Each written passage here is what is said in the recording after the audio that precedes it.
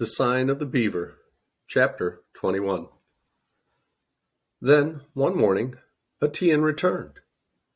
Matt had been waiting, watching the forest trail impatiently, unwilling to go far from the cabin lest he miss the boys coming. But when he finally saw Attean approaching, his heart sank. Attean was not alone. His grandfather stalked by his side. Matt sensed that this meant trouble. Perhaps Saknis had come to reproach him. He would surely know the two boys had been neglecting those lessons. Dreading to face the old man, Matt walked out to meet him, courteously giving the greeting he had learned. Saknis returned his greeting with dignity. He did not smile. His solemn face made Matt's heart sink still lower. Then, startled, Matt turned toward Attean. He did not dare to ask a question, but he saw at once that there was no need to ask. No doubt about it, Attean had found his Manitoua. He had changed. He stood straighter and taller. He looked older, and Matt suddenly realized why. The black hair, which had always hung straight down almost to his shoulders, was shaved away.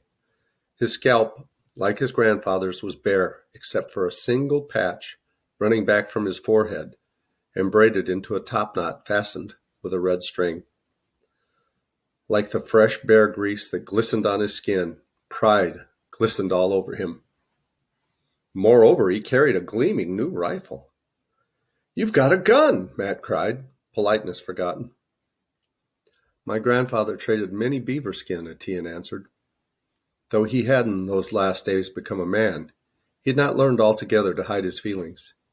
He did not say more. He waited now for his grandfather to speak. The old man's face was grave, but he did not ask about the lessons. Time of sun is getting shorter, he said, like footsteps of bird. Soon ice on water. I know, it's October, Matt said. Maybe November.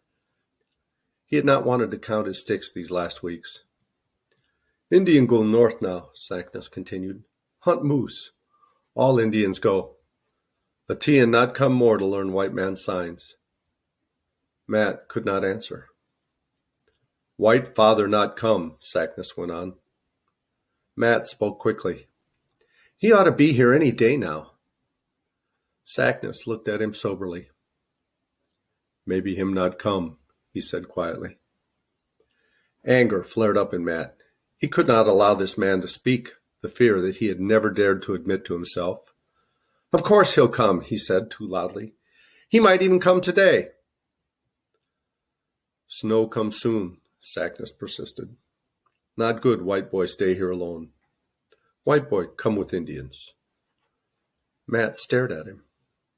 Did he mean to go on the hunt with them? The most important hunt of the year? Saknis smiled for the first time. Saknis teach white boy hunt moose like Attean.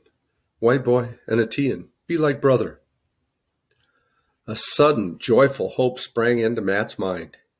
He realized at this moment just how anxious he had been. This was a way out. He did not have to stay here alone through the long winter. Then, as swiftly as it had come, this new hope died away. In spite of his longing, in spite of being afraid, he knew what he had to answer. Thank you, he said. I'd like to go on the hunt, but I can't do that. If, when my father comes, he wouldn't know where I'd gone. Leave white man's writing. Matt swallowed hard. Something might happen to the cabin. He's trusting me to take care of it. Maybe him not come, Saknis said again, not smiling now. He'll be here soon, Matt insisted. He was ashamed that his voice broke in the middle of the word. If he couldn't come, he'd send someone to tell me. He'd find some way, no matter what happened. You don't know my pa. Saknis was silent for some time. White boy, good son, he said at last. But better you come. Saknis glad for white boy. Be Niquinis Matt could only keep shaking his head. The man's word had brought a great lump to his throat. Thank you, he managed. You've been very good to me. But I have to stay here. Without another word, Saknis held out his hand. Matt put his own hand into the bony grasp. Then the two Indians turned and went away. Attean had not even said goodbye. There would be no lesson that morning, no story, no tramping in the forest or fishing. Not this morning, or any other morning. Close to panic, Matt wanted to run after them. He wanted to tell them that he had changed his mind, that he would go with them anywhere rather than stay here alone with winter coming on. But he set his jaw tight and stood where he was. After a few minutes, he reached for his axe and fell to splitting logs with a fury. He couldn't keep from thinking, however, was he just being foolish and stubborn? Wasn't going with them the wisest thing he could have done? Wouldn't his father have understood? He remembered hearing that many white men, and white women too, who had been captured by the Indians and had lived many years in the wilderness, did not want to return to the white world when they had a chance, but had chosen instead to live with the Indians. He had never understood that, but now he could see very well how it might happen. He no longer distrusted them. He knew that Attean and his grandfather would be kind, and that even the grandmother would make him welcome, and that they would share with him whatever they had, no matter how little. He had found friendship and goodwill in their cabin. He had envied Attean his free, unhampered life in the forest and the boisterous comradeship in the village. If he had been taken captive as a child and raised as an Indian boy, how would he himself have chosen? It wouldn't be the same to make that choice deliberately. He was proud that they wanted him to live with them, but he knew that he could never be really proud as Attean was proud of being a hunter. He belonged to his own people. He was bound to his own family, as a Attean was bound to his grandfather. The thought that he might never see his mother again was sharper than hunger or loneliness.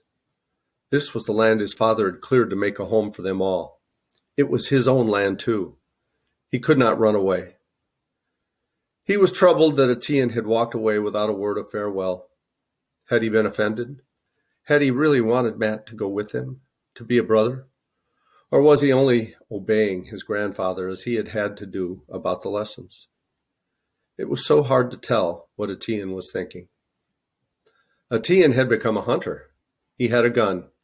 He would not have time now to wander through the forest or to listen to stories. He would not have to bother any longer with a white boy who would never really be a mighty hunter. But surely Attean could have held out his hand as his grandfather had done. And we'll read chapter 22 next time. Meanwhile, till then, as Tigger says, ta ta for now. Love you guys. Thanks so much for listening. Bye bye.